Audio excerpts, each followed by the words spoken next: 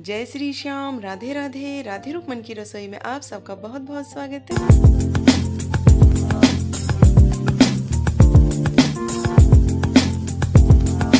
आज हम बनाएँगे आचारी मिर्च, जो खाने में बहुत ही ज़्यादा टेस्टी लगती है और बनाने में बहुत ही ज़्यादा आसान है।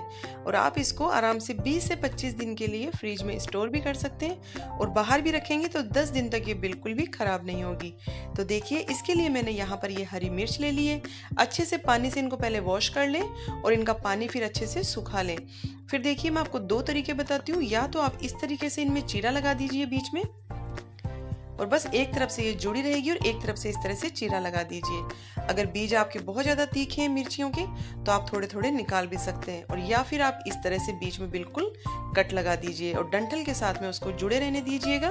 तो जैसे आपको पसंद हो, आप सारी मिर्चियों को पहले इस तरह से तैयार कर लीजिए। फिर देखिए, मैंने यहाँ पर एक कढ़ाई ले ली है। इसमें हम डाल देते हैं ऑयल एक बड़ा चम्मच, जो सब्ज़ी वाला चम्मच होता है, वो मैंने एक चम्मच ले लिया है, और ये मैंने मस्टर्ड ऑयल लिया है। मस्टर्ड ऑयल में ये मिर्चियाँ बहुत टेस्टी लगेगी। और जब भी आप मस्टर्ड ऑयल लें, पहले उसको एकदम धुआंधार गर्म कर लें, फिर हल्का सा वापस उसको ठंडा कर लें। और गैस की फ्लेम को मैंने फिर कम कर दिया जब ये अच्छे से थोड़ा सा ठंडा हो जाएगा हमारा ऑयल फिर हम गैस की फ्लेम को कम कर देंगे। फिर देखिए, मैंने यहाँ पर एक कलौंजी ले ली है, राई ले ली है और सौंफ, आधा आधा चम्मच हींग ले लिए वन फोर्थ टी स्पून ये इसमें डाल देते हैं और गैस की फ्लेम को आप स्लो ही रहने दीजिएगा, वरना सौंफ वगैरह आपकी जल जाएगी और बस फिर हमारी जो मिर्चियाँ हैं, उनको इसमें डाल देते हैं। तो सभी मिर्चियाँ इसमें डाल दीजिए और फिर एक से डेढ़ मिनट के लिए आप इसी तरह से मिर्चियों को ऑयल में चलाते रहिए। इस समय आप कोई भी मसाला मत डालिए एक बार और बस मिर्चियों को इसी तरह से ऑयल के अंदर चलाते रहिए। इससे क्या होगा? एक तो इनका बिल्कुल मॉइस्चर जो है वो बिल्कुल सूख जाएगा। जो थोड़ा बहुत भी कोई पानी मिर्चियों में रह गया है, वो बिल्कुल एकदम सूख जाएगा तो मिर्चियाँ हमारी ख़राब नहीं होगी। और दूसरा हल्का सा ये सॉफ्ट भी हो जाएगी मिर्चियाँ। ज़्यादा इनको सॉफ्ट नहीं करना है और गैस की फ्लेम को आप बिल्कुल स्लो ही रखिएगा, वरना जो मिर्ची की ऊपर की स्किन होती है ना, उस पर एक वाइट वाइट सी पपड़ी सी आने लगती है, जो देखने में बिल्कुल भी अच्छी नहीं लगती है। खाना बनाते समय थोड़े बहुत अगर हम ट्रिक के साथ में बनाएँ तो खाना देखने में भी सुंदर लगता है और बनता भी बहुत टेस्टी है। तो बस इसी तरीके से इनको चला लीजिए थोड़ा सा। स्लो फ्लेम के ऊपर, और फिर एक मिनट के लिए इसको ढक दीजिए स्लो फ्लेम के ऊपर ही। बस एक मिनट के लिए, ताकि मिर्ची हमारी हल्की सी थोड़ी सी और सॉफ्ट हो जाए। ज़्यादा इनको आपको सॉफ्ट नहीं करना है, और आपको अगर बहुत ज़्यादा क्रंची चाहिए तो आप इसको मत ढकिए। इसी तरह से आप इसको चलाते हुए ही पका कर तैयार कर लीजिए। फिर देखिए, इसमें हम डाल देंगे थोड़े थोड़े से सभी मसाले। तो पहले तो मैं इसमें डाल रही हूँ वन फोर्थ चम्मच हल्दी पाउडर।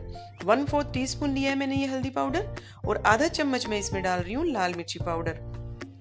और एक चम्मच डाल रही हूँ रोस्टेड सौंफ का पाउडर। मैंने हल्का सा सौंफ को रोस्ट कर लिया पहले और फिर उसको मिक्सर में पीस के रख लिया। जब भी कभी आप मिर्ची वगैरह या कुछ भी बनाएँ तो उस समय इसको आराम से आप यूज़ कर सकते हैं। और ये वन फोर्थ टी मैंने इसमें डाल दिया है राई का पाउडर।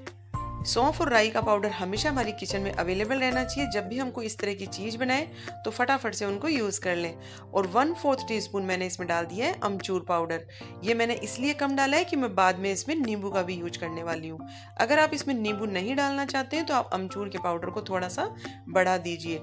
और अगर आप इसमें नींबू ज़्यादा डालना चाहते हैं तो अमचूर के पाउडर को आप स्किप भी कर सकते हैं। फिर मैंने आधा चम्मच इसमें डाल दिया है चाट मसाला पाउडर। इससे मिर्चियाँ बहुत ही चटपटी सी बनेगी और टेस्ट के अकॉर्डिंग फिर आप डाल दीजिए नमक। मैंने आधा चम्मच से थोड़ा सा कम ही लिया है नमक। और अच्छे से कर देते हैं इनको मिक्स हम। तो बस देखिए हमारी मिर्ची कितनी झटपट से बनकर तैयार हो जाती है और खाने में यकीन मानिए बहुत ही ज़्यादा टेस्टी लगती है। अगर आपको मिर्च का अचार बनाना इस तरह से लगता हो, बहुत भारी लगता हो तो आप इस तरह से बस मिर्चियाँ बनाकर रख लीजिए। बिल्कुल अचार की तरह ही लगती है और बहुत ही ज़्यादा टेस्टी लगती है। जब दाल बनी हो कड़ी बनी हो और साथ में सब्ज़ी बनाने का कभी कभार होता है कि मन नहीं होता है हमारा तो बस ये अगर मिर्चियाँ बनी हुई तैयार हो तो आप साथ में सर्व कर दीजिए। खाने वाले को बिल्कुल नहीं लगेगा कि आपने केवल दाल के साथ में खाना परोस दिया। बस एक सेकंड के लिए मैंने उसको ढक दिया और फिर इसमें डाल देते हैं आधा नींबू का रस। आधा नींबू ले लिया है मैंने, वो इसमें निचोड़ है, क्योंकि मैंने इसमें अमचूर पाउडर भी डाला है और राई का पाउडर भी। अगर आप अमचूर पाउडर नहीं डालना चाहते तो आप इसमें एक नींबू का रस डाल दीजिए।